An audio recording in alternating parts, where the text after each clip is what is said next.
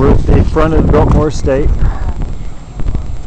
And this is the main house here. There's the uh, front door, you've seen in movies. And imposing uh, entry.